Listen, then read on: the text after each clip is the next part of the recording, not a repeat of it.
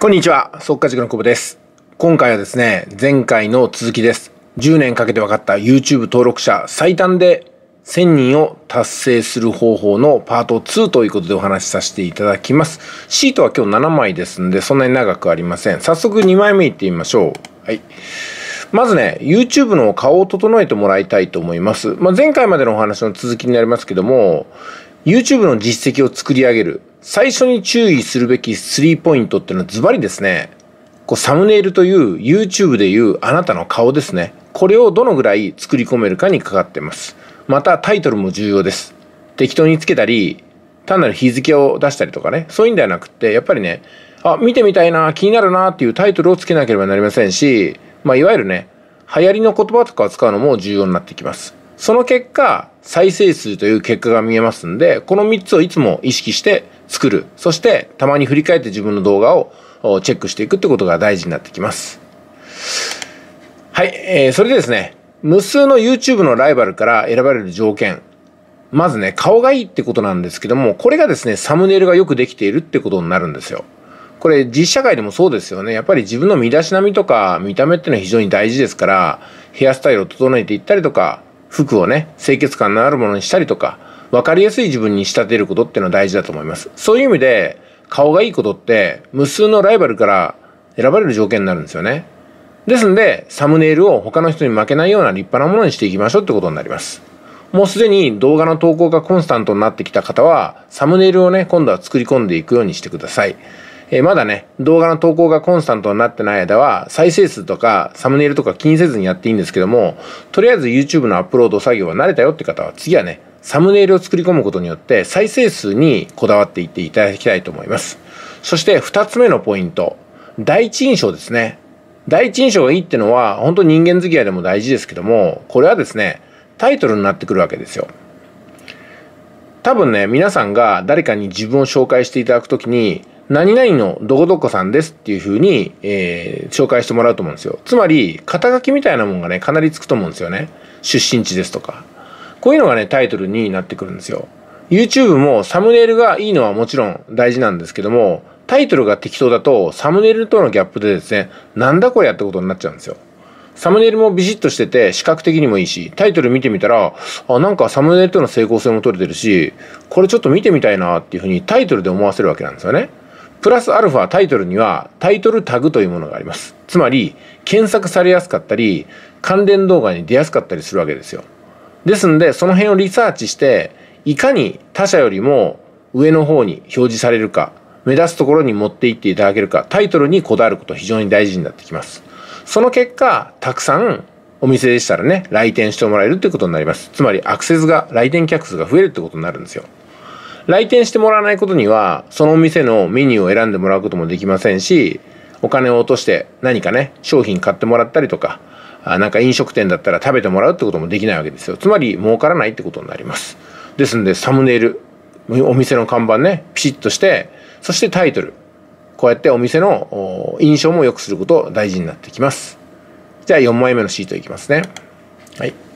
で、チャンネル登録っていうのを増える、そのメカニズムっていうのは、結局こういうことになってきます。最後まで見ていただけた動画じゃないとチャンネル登録はしてくれません。それそうですよね。だって最後まで見て、まだ見足りないから次回の動画に期待して登録するわけじゃないですか。だからこれと反対にですね、最後まで見ていただけないような、なんかね、面白くない動画とか、途中で離脱されちゃうような動画とか、もっと言ったら、最初からクリックすらされない動画ってのは、チャンネル登録の増えようがないんですよ。下手にチャンネル登録されるとね、あの、悪い評判が広まっちゃいますよね。だからサムネイルとタイトルで、とりあえずクリックしていただく。その次に、クリックしていただいた方に、期待に応えれるような動画を作っていくっていう風な話になってくるんですね。だからいくらね、動画の内容にこだわっていても、クリックされなければ話になりませんからね。まあ、ですので、サムネイルとタイトルってのは、動画をコンスタントにアップロードできるようになった方が、次に取り組むことになってくると思います。で、サムネイルとかタイトルがね、ちゃんとできるようになったら、内容をしっかり作っていきましょうということになります。はい。じゃあ、分析する方法を紹介しますね。今まで量産した動画があると思います。練習で量産した動画の中でも、再生数がね、わずかでも多い動画、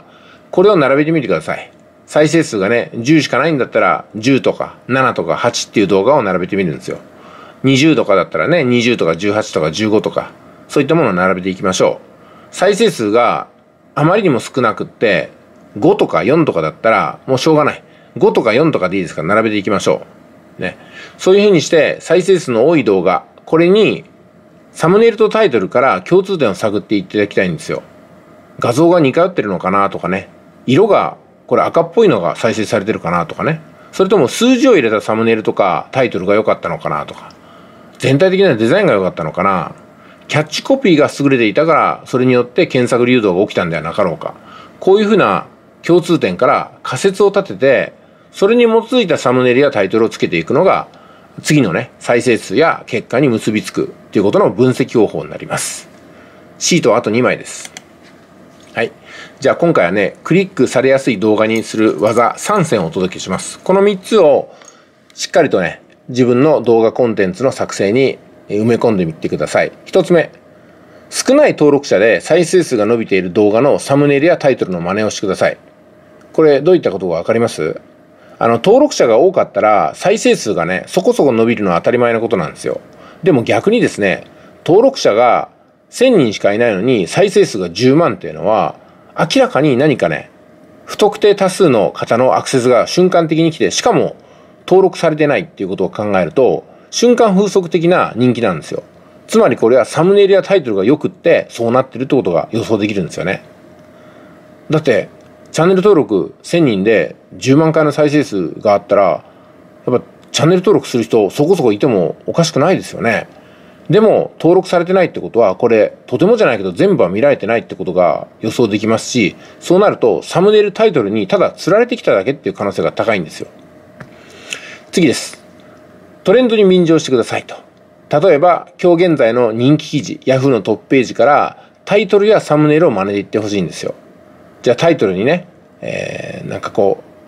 うお笑いの渡部腹筋みたいなね記事が載ってましたら、自分もタイトルに渡部復帰とかしてね、で、サムネイルに記者会見で謝ってる様子などを、こう、イラストとかで表現するみたいなね、そんなことができますし、もしあれだったら自分自身が黒いスーツを着て、申し訳なそうな格好をして立ってると、これまた面白いかもしれないですよね。そういうふうに、えー、タイトルを作ってサムネイルを決めていっていただきたいと思います。最近はフリーの画像とかもありますんで、そこでね、面白そうなのを撮ってくるっていうこともできます。ですんでね、サムネイルが作れるっていうのは、この段階に来たら、もうね、当たり前にできるようになっておいてください。で、3つ目なんですけども、過去にバズった動画ってあると思うんですよ。もしくはもう飽和しちゃった。人気すぎて飽和しちゃった動画ね。じゃあこれをね、編集してショート動画に投稿するっていう方法もあります。もちろん他の方の動画を勝手に編集するのにはいろいろと問題がありますんで、許可されてる動画に限りますけども、これね、もしくはね、過去に人気だった動画を自分で短く解説するっていうのも結構受けてるんですよ。昔こんな話題がありますけども、あれを10秒で説明するとこういうことになってるんですよ、みたいなね。そういうふうなショート動画っていうのは結構再生される可能性が高くなってきます。クリックされやすい動画にするための技3選、いかがだったでしょうか？うん。じゃあ最後の1枚ですね。えっ、と、YouTube を伸ばすダントツの方法です。これね、いつもお話ししますけども、有料のコミュニティに入るのがもうベストなんですよ。例えばね、速化塾に入っていただいた方、ね、その中で自分のコンテンツをやったり自分の塾を販売した方、私の方からもちゃんと紹介するでしょ？で、何回もズームのライブとかしますよね。その結果、自分のコミュニティが、